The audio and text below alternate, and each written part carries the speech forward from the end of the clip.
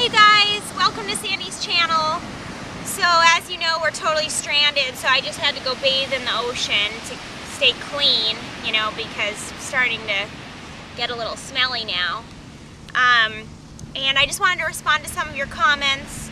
Well, first of all, I wanted to talk to the downstairs guys. Kevin and Doug, if you're listening, I'm not very happy with you right now because I see here that you're spending all your time trying to teach Tony musical theater when obviously she doesn't have any talent and instead of coming to get us. So I see where your priorities are. Um, you know, let's see. Uh, Beautiful Teeth said, do they really live together? And I'll answer that for them. Unfortunately, yes, they do live together. And that's why they haven't come and gotten us because Doug is influencing Kevin, you know, otherwise I think Kevin would have come picked us up. Um, Princess uh, Evil said, Kevin, you're such a knob. You go treat her with tenderness, Doug. And believe me, Doug is not going to treat her with tenderness because he is not trustworthy between you and me. He is not a tender guy, and I wouldn't trust him with my, you know, pet kitten. Anyway, to go back to some of our comments, I'm going to go back here.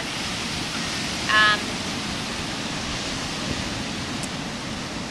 I wanted to just tell you a little bit that um, Stupid Jim was definitely with us, so I don't really know how he was also with the downstairs guys. I think that it might have been uh, imitator or something.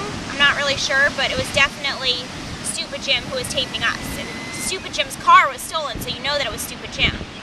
So I know some of you guys were a little bit confused about that. Like um, Snow Lion UD said, is Stupid Jim some sort of superhero? Does he have powers that far exceed what we can comprehend?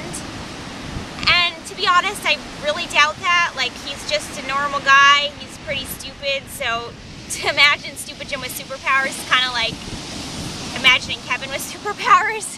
You know what I mean? Um, Air Raid said, how come you'll do anything with Doug, but you can't do any, you won't do anything with me? You don't have a car.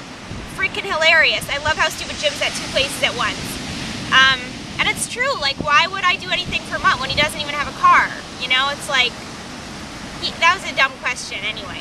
Um, let's see.